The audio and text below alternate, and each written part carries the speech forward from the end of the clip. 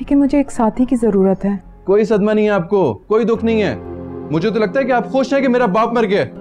आपके रंग ढंग तो मैं अब्बा के जाने के बाद से देख रहा हूँ। आपने एक दिन भी बेवा औरत की तरह तो बिहेव ही नहीं किया। कोई शोक नहीं मनाया आपने मेरे बाबा की मौत का? पूरे चार माह दस दिन शोक मनाया मैंने।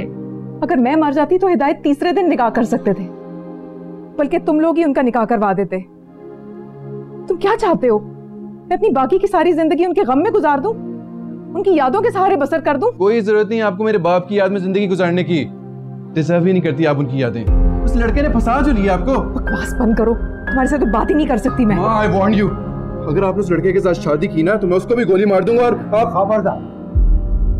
खबरदार जो मुँह से एक लफ्ज भी निकाला। माँ है तुम्हारी। आप प्लीज़ जाए यहाँ से ये हमारा पर्सनल मामला है। इनका मामला मेरा मामला है। आप बताती क्यों नहीं है? देखें इब्तिसाम अंकल आप मेहमान हैं मेहमान बन के रहें। इब्तिसाम आप प्लीज़ जाइए। अफान को कोई गलत फहमी हुई है मैं संभाल लूँगी। कुछ नहीं समझूँगा मैं मैं नहीं समझूँगा। आपको मेरी बात समझनी होगी। आपको उस लड़के के साथ शादी के ख्वाब खत्म करने पड़ेंगे वरना हाँ, बगैर सोचे समझे बोले चले जा रहे हो। माँ के जर्फ और सबर को आजमा रहे हो। अरे को मैंने प्रपोज किया था।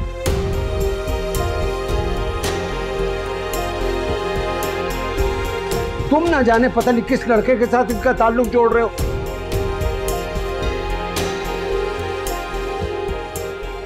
शर्म आनी चाहिए तुम्हें। ठीक कह रहा हूँ ना मैं?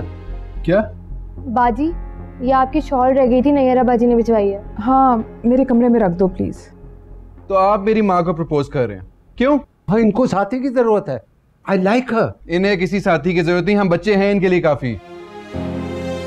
भाई तुम बच्चे कितने इनके साथ हो? चंद दिनों में उसका अंदाज़ा हो गया ना मिनाइल के पास टाइम है ना तुम्हारे पास। टाइम देने के बहाने जो आप हासिल करना चाहते हैं ना वो मैं कभी होने नहीं दूँगा। आप निकले यहाँ से। सामान पकड़े और जाए यहाँ से। अफान तुम कौन होते हो उनको जाने का कहने के लिए? ये मेरा घर है। ठीक है। संभाले अपना घर। रखे इन अंकल को अपने पास। लेकिन मैं यहाँ नहीं रहूँगा।